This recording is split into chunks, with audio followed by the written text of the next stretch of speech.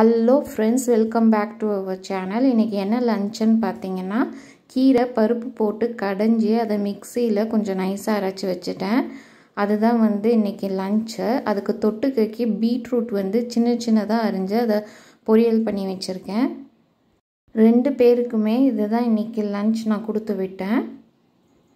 நான் கீரையும் பருப்பையும் எதுக்கு வந்து மிக்சியில் அரைச்சிட்டேன்னா சின்ன பாப்பா வந்து கீரை தனியாக இருந்ததுன்னா அவள் வந்து சாப்பிட மாட்டாள் அதனால் நைஸாக அரைச்சிட்டு அதை சாதத்தில் போட்டு பிசைஞ்சு கொடுத்துட்டோன்னா அவள் அதை சாப்பிட்ருவா அவளுக்கு தெரியாது. அதனால தான் இந்த மாதிரி அரைச்சிட்டு அதை சாதத்தில் போட்டு பிசைஞ்சிட்டேன். ஸ்நாக்ஸுக்கு வந்து சின்ன முறுக்கு வந்து ரெண்டு பேர்த்துக்குமே தனித்தனியாக வச்சாச்சு.